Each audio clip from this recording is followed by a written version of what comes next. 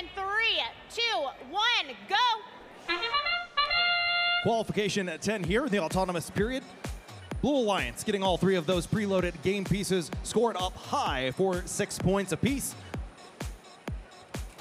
Red Alliance with the two on the outer grids, 3256 deposits one there in the hybrid node. 4028 will be docked engaged for the Red Alliance coming into our second period of play. They will push out in front, 39 to 31. Three blue machines navigating that loading zone back to collect. One, two, and now 56-35 will head across neutral space. Robots zooming past each other at midfield, avoiding collisions here. Red Alliance with the double score here. 6-2-4 goes up high, 32-56 going down low, and here comes the Beak Squad, potentially capping off this link here for the Red Alliance in the outer grid. They get it done. And the team from Katy dropping off another five-point score on the near side. Blue Alliance answering back here.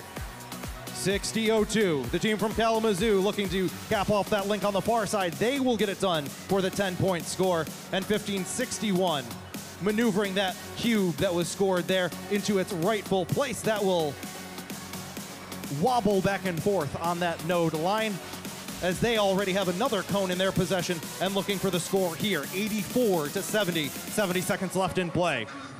Both alliances with the co-op bonus here. Red Alliance looking for two more links. Blue Alliance, the same story. Two red machines back to collect here on the near side of the field. Blue Alliance will beat them to it here. 1561 punts one of those cubes over into their community. That hybrid row filling up fast for the Blue Alliance.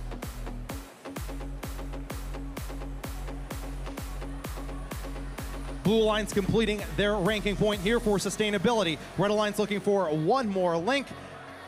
624 pops one of those cubes up into the mid row. And here comes the Beak Squad, 4028, who delivers the cone here. 3256 already looking for the charge station, holding it down for their alliance partners, the WarriorBorgs, patiently waiting for these last few cycles. Red Alliance looks like they want at least one more link here for the ranking point. Beak Squad will deliver as well as a CRyptonite here. Uh, 10 seconds left for the end game period. Blue Alliance looking for three. Red Alliance happy with the double. It's three, two, one.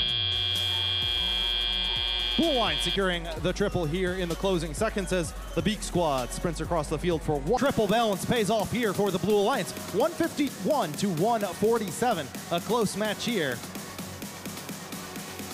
And two ranking points there for the Red Alliance. They pick up both of those bonuses during the match. But Blue with the win